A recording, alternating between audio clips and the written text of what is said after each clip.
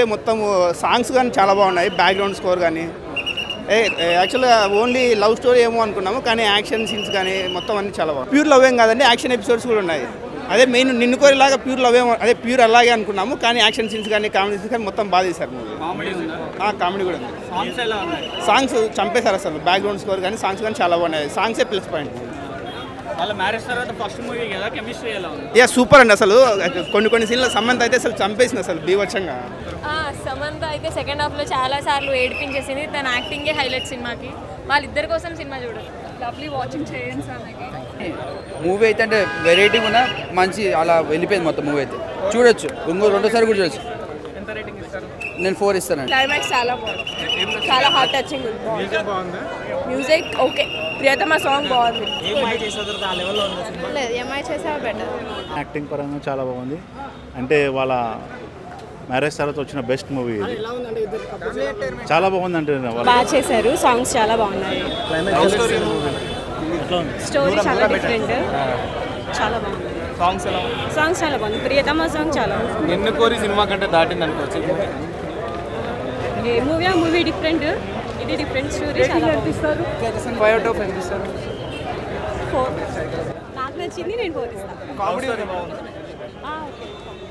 సినిమాలో highlights highlights in understanding wife and husband understanding music చాలా బాగుంది. ప్రతి గురువులు కానీ తల్లిదండ్రులు కానీ అందరూ చూడాలి. అంటే మన కేవలం చదివే అని కాకుండా పిల్లల యొక్క చాలా ఇంట్రెస్ట్ ఉంటుంది. ఈ అబ్బాయికి ఇందులో క్రికెట్ అంటే ఇష్టం కొందరికి నటన అంటే ఇష్టం. సో అవి కూడా తెలుసుకునేటప్పుడు యూత్ కూడా కొద్దిగా ఆలోచించి వెళ్ళాలి. ఇంట్రెస్ట్ ఉండడం వేరు. అవకాశాలు సాధించుకోవడానికి ఎట్లుంటుంది అనేది చూపించారు. ముఖ్యంగా ప్రేమ అనేది అమ్మాయి కొత్త అమ్మాయి దివ్య చేసింది అమ్మాయికి మోడర్న్ క్యారెక్టర్ ఇచ్చారు కాబట్టి చాలా అద్భుతంగా చేసింది. సమంత గారికి ఏమో చాలా ఏంటంటే ఒక సాంప్రదాయంగా ఇల్లాలు ఉన్నటువంటి క్యారెక్టర్ ఇచ్చారు. చాలా బాగుంది. ఎవరికి వాళ్ళు బాగున్నది. తండ్రి ప్రేమ చాలా బాగా అనిపించిందండి నాకు ఇందులో. ఇద్దరు తండ్రులు కూడా అమ్మాయి తండ్రి కానీ అబ్బాయి తండ్రి కానీ చాలా అద్భుతంగా చూపించారు. ఎస్పెషల్ సెకండ్ హాఫ్ చాలా బాగుంది. ఫస్ట్ హాఫ్ కంటే. మ్యూజిక్ మ్యూజిక్ బాగుంది. Songs sir okay decent but BGM is highlight Thaman చాలా బాగా ఇచ్చాడు.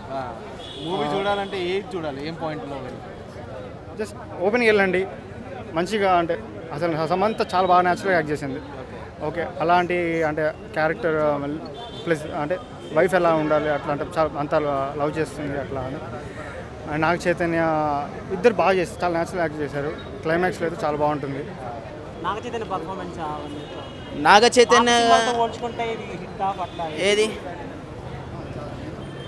పాత సినిమాలు అంటే దేని దానికి జడ్జ్ చేయాలండి? ఈ సినిమాకి ఈ సినిమాకి ఎవరికి వాళ్ళు పోటీపడి చేశారు? ముగ్గురు కాదు అసలు ఏ క్యారెక్టర్ కూడా ఎవరికి వాళ్ళు? నాగ చైతన్య గారు కానీ సమంత గారు కానీ దివ్య గారు కానీ అలాగే తండ్రి క్యారెక్టర్ అయితే ఇక వాళ్ళ సీనియర్స్ వాళ్ళ గురించి మాట్లాడలేదు బట్ ఎవరికి వాళ్ళు పోటీపడి చేశారు? ముగ్గురికి.